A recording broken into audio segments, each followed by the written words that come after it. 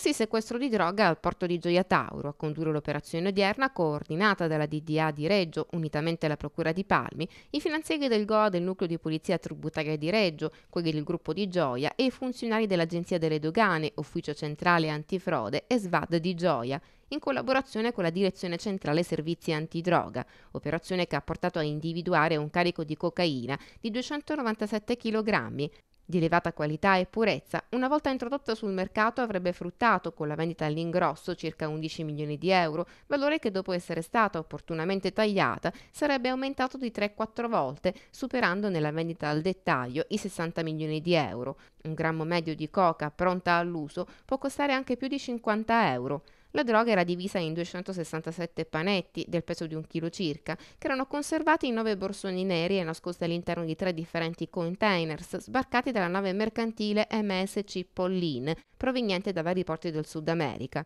I containers trasportavano scatole di alluminio, prodotti alimentari e legumi, ed è stata proprio la comparazione fra i documenti doganali e le caratteristiche del carico ad insospettire gli investigatori, essendo questo destinato ad aziende del nord che non trattano questo tipo di prodotti. Funzionari della dogana di Gioia e finanzieri hanno così ispezionato i containers, rinvenendo il carico di stupefacenti diretto con tutta probabilità al mercato dell'Italia del Nord. Dall'inizio dell'anno le attività di controllo eseguite dalla Polizia Giudiziaria sulle merci in transito dal porto gioiese, fra incroci documentali e controlli anche con l'ausilio di scanner,